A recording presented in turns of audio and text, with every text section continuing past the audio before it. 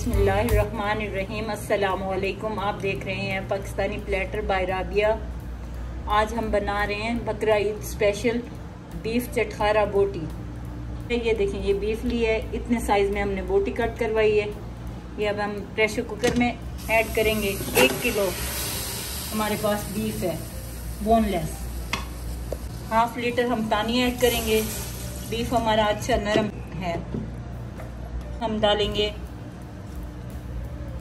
लहसुन, एक टीस्पून अदरक का पाउडर डाल रहे हैं, एक टीस्पून ही हम खुश्क धनिया ऐड कर रहे हैं, कुटा हुआ, एक टीस्पून नमक शामिल कर रहे हैं, एक टीस्पून ही हम शामिल कर रहे हैं, पिसी हुई लाल मिर्च, हल्दी पाउडर, हाफ़ टी स्पून बस ये चीज़ें शामिल करेंगे और कवर लगा के इसको 10 मिनट के लिए हम पका लेंगे। कुकर का कवर लगा देंगे।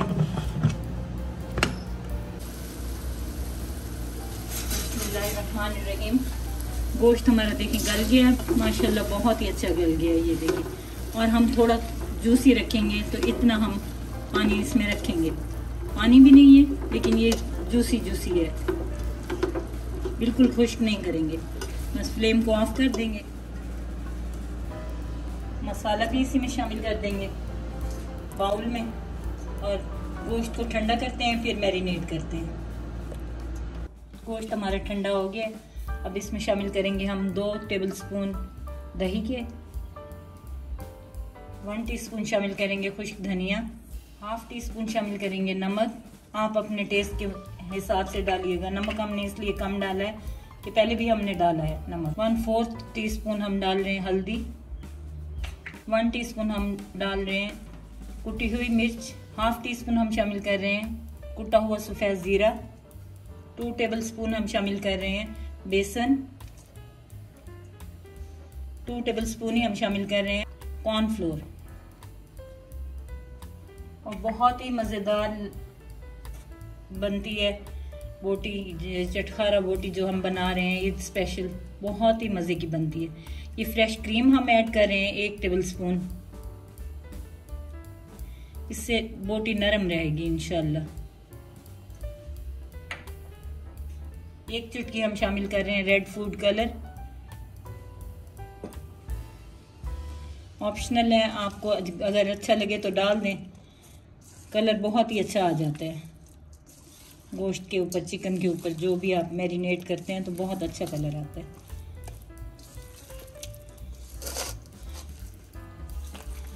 मैरिनेट करके आधे घंटे के लिए हम रख देंगे, उसके बाद हम फ्राई करेंगे इनशाला बीफ बोटी हमारी मैरिनेट हो गई है, जो हमने बॉईल करके मैरिनेट की थी। आधे घंटे के लिए हमने मैरिनेट की है। अब हम इसे फ्राई करते हैं। ऑयल हमारा गर्म हो गया। है पैन में हमने ऑयल डाला था। ऑयल गर्म हो गया। ये हम अब फ्राई करेंगे।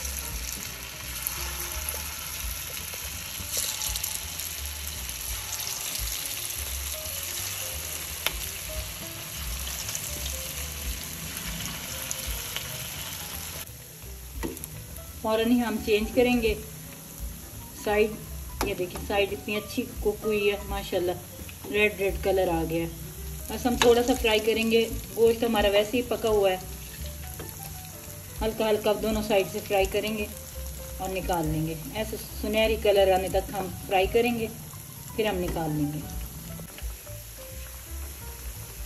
माशाल्लाह, ये देखें फ्राई होके बहुत अच्छा कलर आ गया है।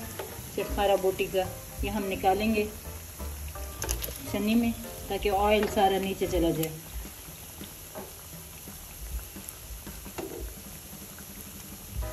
ऐसे ही सारी निकाल के हम रख देते हैं, दूसरी टर्न हम फ्राई करते हैं।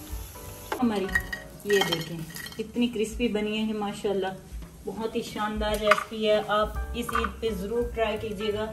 बहुत जल्द बन जाने वाली रेसिपी है। दस मिनट का कुकर की विसल लगवाई है मैंने, और बहुत अच्छी कुक हो गई है।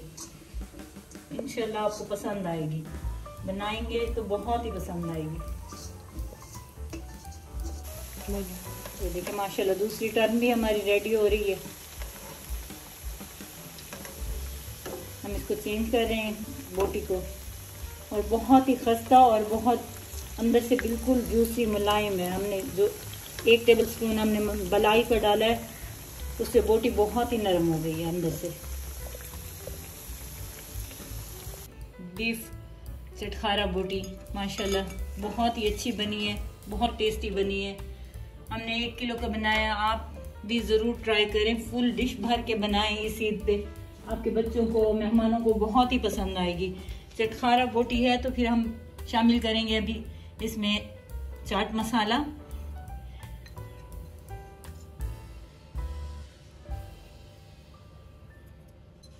टॉस कर लेंगे। माशाल्लाह। बहुत ही ज़बरदस्त किस्म की हमारी चटखारा बोटी तैयार हो गई है, माशाल्लाह ये देखिए माशाल्लाह बहुत ही अच्छी है, बहुत गर्म है, इसलिए मुझसे हाथ नहीं लगाया जा रहा ये देखें। बहुत ही मज़े की बनी है, बहुत टेस्टी है। आप ज़रूर ट्राई करें, इंशाल्लाह आपको पसंद आएगी। बिस्मिल्लाहिर्रहमानिर्रहीम। ये हमारी बीफ चटखारा बोटी तैयार है, माशाल्लाह, बहुत अच्छी बनी है, बहुत चटपटी बनी है। लेमन जूस के साथ आप इंजॉय करें लेमन जूस डाल के। अगर मेरी ये बीफ चटखारा बोटी की रेसिपी आपको पसंद आई हो तो मेरे मेरे चैनल को सब्सक्राइब करें लाइक करें शेयर करें। बेल का आइकन भी प्रेस करें, ताकि हर नई आने वाली वीडियो का नोटिफिकेशन सबसे पहले आपको मिले। बहुत बहुत शुक्रिया, अल्लाह हाफिज़।